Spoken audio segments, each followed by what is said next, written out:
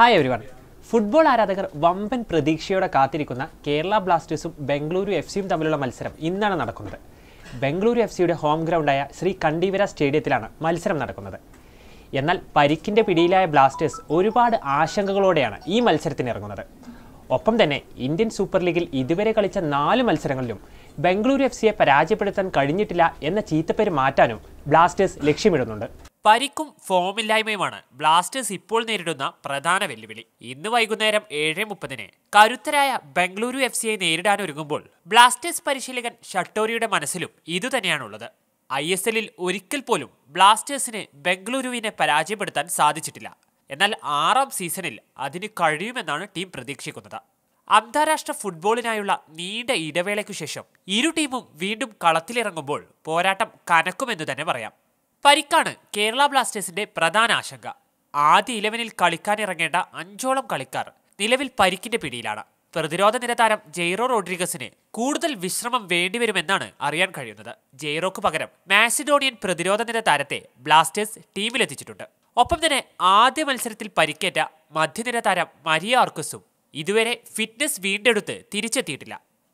അതുകൊണ്ട് തന്നെ കൂടുതൽ മലയാളി താരങ്ങൾ ടീമിൽ ഇടം പിടിച്ചേക്കാൻ സാധ്യതയുണ്ട്. Sahal Abdul Samad K P Rahul Prasanth T P Rehenesh എന്നിവർ ആദ്യ ഇലവനിൽ കളിക്കാനാണ് സാധ്യത. ഒപ്പം തന്നെ ബ്ലാസ്റ്റേഴ്സിന്റെ കഴിഞ്ഞ മത്സരത്തിൽ സബ്സ്റ്റിറ്റ്യൂട്ടായി ഇറങ്ങിയ അബ്ദുൽ ഹക്കു സെന്റർ ബാക്ക് പൊസിഷനിൽ സ്ഥാനം നിലനിർത്തിയേക്കും. ബ്ലാസ്റ്റേഴ്സിന്റെ കുന്തമുന വാർത്തലോമയ ഓഗ്ബച്ചോ ഇന്ന് ആദ്യ ഇലവനിൽ കളിക്കും. അതേസമയം ടീം എത്ര പ്രശ്നങ്ങളിലാണെങ്കിലും ബംഗളൂരു എഫ് സിക്കെതിരെ ഇറങ്ങുമ്പോൾ ടീം അവരുടെ പരമാവധി നൽകുമെന്ന് ബ്ലാസ്റ്റേഴ്സ് പരിശീലകൻ എൽക്കോ ഷെട്ടോരി വ്യക്തമാക്കി. പരിക്ക് കാരണം ടീം ഒരുപാട് കഷ്ടപ്പെടുകയാണ്. പക്ഷേ ഒഴിവ് പറഞ്ഞ് രക്ഷപ്പെടാൻ തനിക്ക് പറ്റില്ലെന്ന് ഷട്ടോരി പറഞ്ഞു. ടീം എന്നാൽ വെറും പതിനൊന്ന് പേർ മാത്രമല്ലെന്നും സ്ക്വാഡിലെ മറ്റു കളിക്കാർ മുന്നോട്ട് വരേണ്ട സമയമാണിതെന്നും ഷട്ടോരി ഓർമ്മിപ്പിച്ചു. ഒഡീഷ എഫ് സിക്കെതിരായ അവസാന മത്സരത്തിൽ കേരള ബ്ലാസ്റ്റേഴ്സ് ഇതുപോലെ പരിക്കിനാൽ വലഞ്ഞായിരുന്നു കളിച്ചിരുന്നത്. എന്നിട്ടും മികച്ച പോരാട്ട വീര്യത്തോടെ ഫലമുണ്ടാക്കാൻ ടീമിനായി. അതുപോലെ തന്നെയുള്ള ഒരു പ്രകടനമായിരിക്കും ബംഗളൂരു എഫ് സിക്കെതിരെയും ടീം പുറത്തെടുക്കുക എന്ന ആത്മവിശ്വാസത്തിലാണ് ഷട്ടോരിയുള്ളത് ടീമിന്റെ സെന്റർ ബാക്കുകൾ പരിക്കേറ്റ് പുറത്തുപോയതും മിഡ്ഫീൽഡ് നിയന്ത്രിക്കേണ്ട ആർക്കസ് കളിക്കാത്തതുമൊക്കെ വളരെ നിർഭാഗ്യകരമാണെന്നും ഷട്ടോരി പറഞ്ഞു.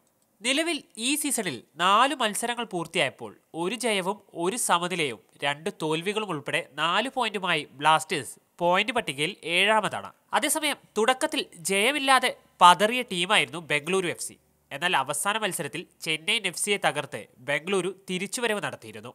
സുനിൽ ഛേത്രി ഉദാദ സിംഗ് റാഫേൽ അഗുസ്തു ആഷിഖ് കുരുണിയൻ എന്നിവർ കളിക്കുന്ന ടീം അതിശക്തമാണ്. ലീഗിൽ ഇരു ടീമുകളും നേരത്തെ നാലു തവണ നേർക്കുനേർ വന്നപ്പോൾ മൂന്ന് തവണയും ബംഗളൂരുവാണ് ജയിച്ചത്. ഒരു മത്സരം മാത്രമേ സമനിലയിൽ കലാശിച്ചുള്ളൂ.